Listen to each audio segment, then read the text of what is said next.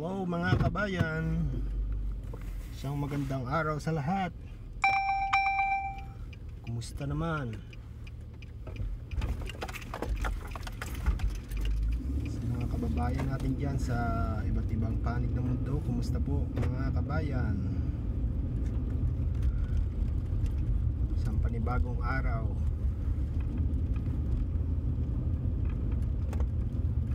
Salamat nga po pala muli doon sa mga bagong subscriber. Kung hindi ko pa man po kayo nababalikan, ah, mamaya ako babalikan ko kayo.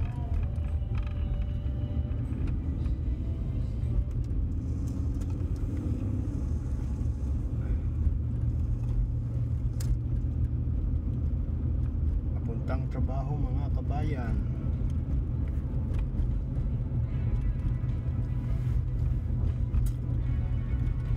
Samahan niyo ako sa aking biyahe.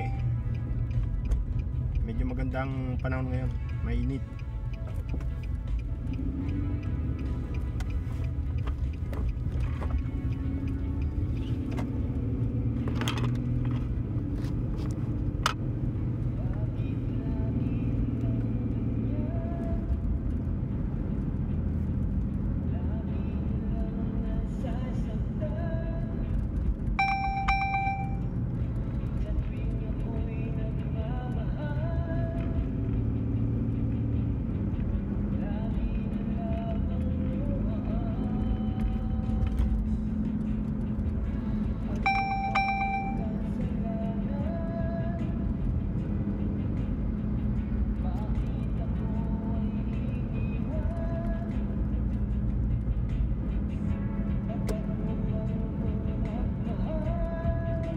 Salamat sa background music ni Faring Ryan Gold. Dahil sa hilig niya sa OPM. Kaya mahilig siyang mag-compose ng sariling kanta.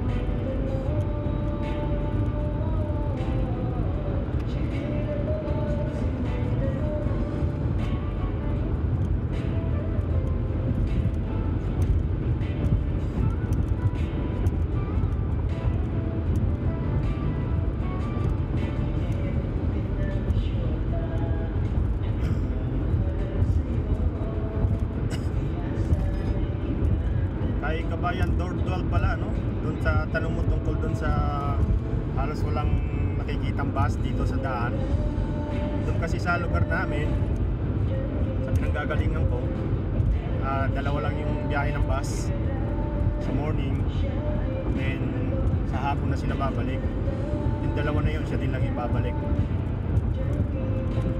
pagdating naman doon sa ano, biyahe ng galing sa downtown papunta dito sa airport yan hindi ko kabisado kung ilang biyahe sila pero alam ko medyo madalas din.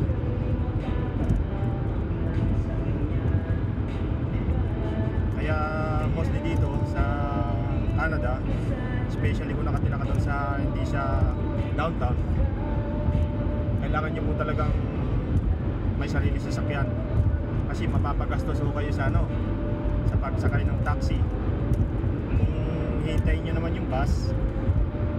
Napaka-hassle. Dahil unang-una yung oras mo talagang kailangan mong abangan. Minsan medyo may delay pa. Malilate ka sa trabaho then yung sayang na oras talaga. Pero kung nasa downtown naman mga kabayan o kaya dyan sa city medyo accessible naman yung mga ano dyan, public transportation.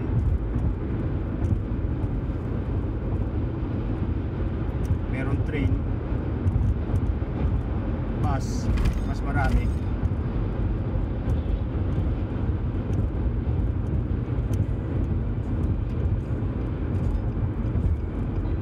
Sa mga oras na ito wala talaga halos bus na bumabiyahe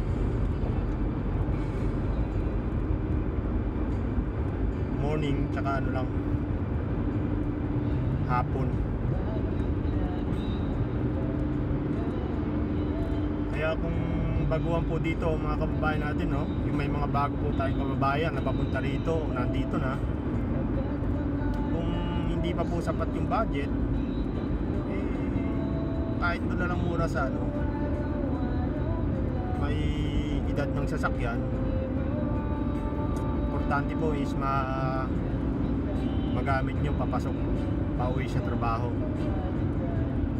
Kasi kung sa taxi po talaga kayo mag ano, magdidepende unang-una magastos. Dito sa amin ang pinaka minimum nasa 10 10 dollars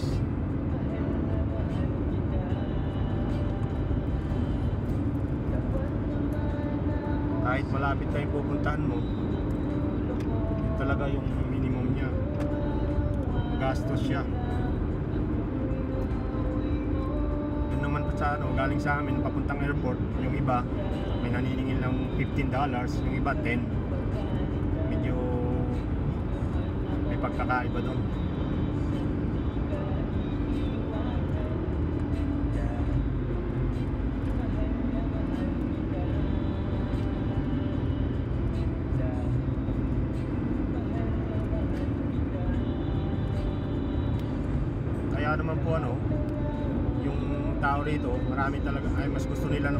sasakyan. Kasi kapag taglamig po, tapos naghihintay ka sa labas ng bus, although yung mga waiting shed naman ng mga bus station, yung iba may heater, pero yung iba wala.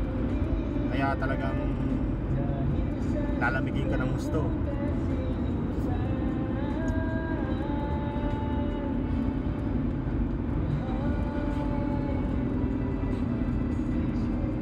Kaya po yun ang importante talaga dito.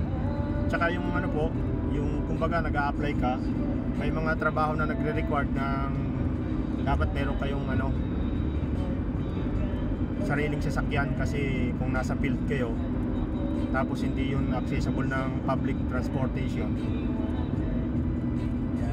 eh magiging hassle sa inyo kaya kung sakaling nag-apply ka sa ganun tapos may requirements na kailangan ng sariling sasakyan at wala ka eh doon pa lang po hindi na kayo tatanggapin. Madalas po yan sa mga field. Sa mga oil field. O kaya yung sa mga industrial area. Nagre-require sila sariling service.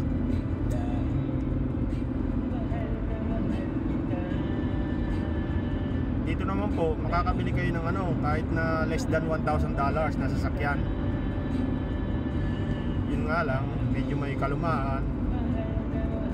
Pero kung may kakilala kayong mga mekaniko sa lugar ninyo na gumagawa ng report para sa sasakyan, kasi kailangan po yun eh, pag medyo may edad na yung sasakyan, kailangan ng report bago kayo magpa-register. So, at least kapag sa kakilala nyo Pilipino, o meron din namang mga Canadian na gumagawa ng report na ganun, mura lang sumingil, 50 or more, pero hindi aabot ng 100. Ayos na yun. Pero kapag sa mismong mechanic shop nyo po pinagawa yun, ay marami silang hinahanap na ganito, ganito. Mapapagastos kayo. Konting share lang yung mga kabayan sa mga idea.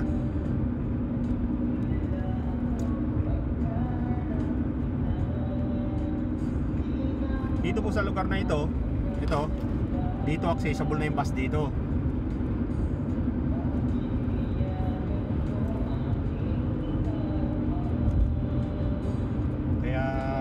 Dito kayo nakatira sa lugar na to, kahit na kung nagtitipid, kahit na wala kayong sasakyan, okay lang. Basta makabisado nyo yung mga ruta ng sasakyan. I mean bus. Tsaka yung oras para hindi kayo mahassle sa paghahabol.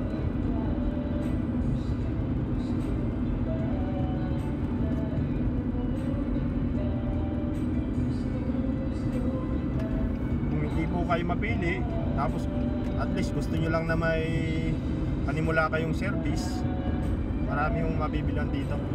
Napakabilis lang po ng pagbili ng sasakyan dito. Tulad dun sa nauna ko nasabi na vlog. One or two days pwede nyo nang gamitin. Kasi yung pagkuha ng una yung isakisuin is yung sa ano eh insurance hindi nyo siya ma-register nang wala kayong insurance. Online nyo lang po gagawin yun. I-email lang agad sa inyo yung copy ng inyong insurance policy. Pwede nyo lang dalhin sa registration para ma-register nyo. Yung pagbibigay po ng plate number dito napakabilis lang. On the spot na nandun ka complete yung documents mo mabibigyan ka po agad ng please, ano tawag dito yung plate number?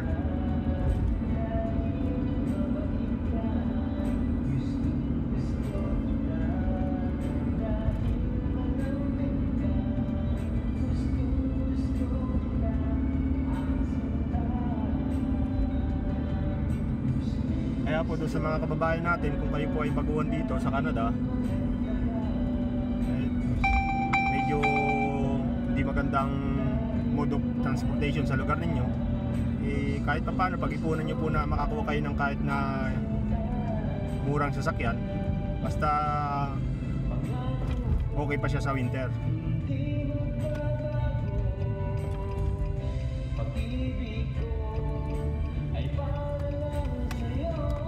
Saka ang kagandahan po nun, ano, makakalis kayo ng gastos. Huwag lang kayong matikitan dahil tataas po ang inyong insurance.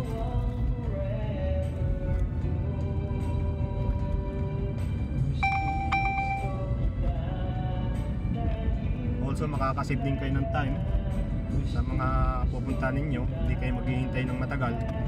Dahil kahit pati mga taxi dito, yung tatawagan mo sila, magpapa hintay pa yan. Medyo matagal din.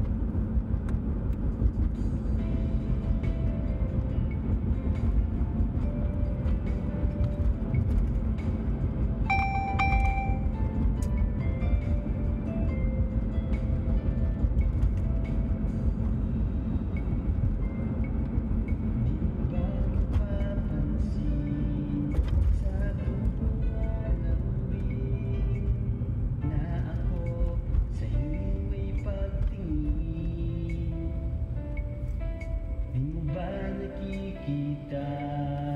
satu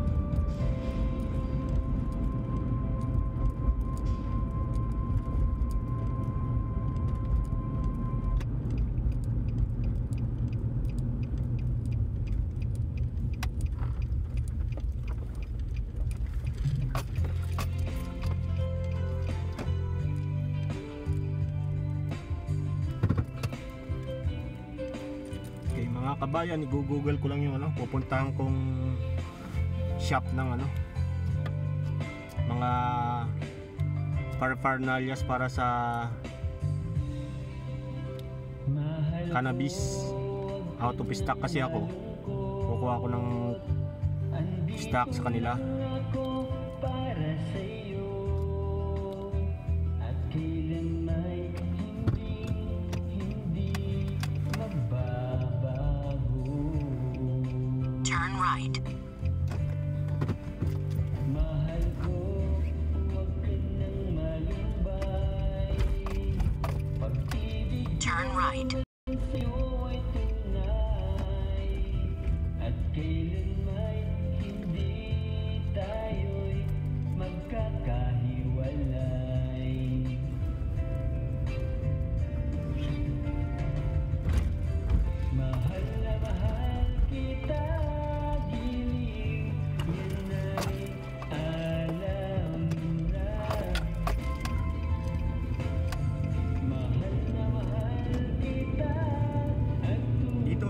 na to mga kabayan, yung mga buses, accessible na. May train station na rin dito sa banda doon, sa dulo. Kaya kahit na hindi ka bumili ng sasakyan, kung gusto mo makatipid, okay lang.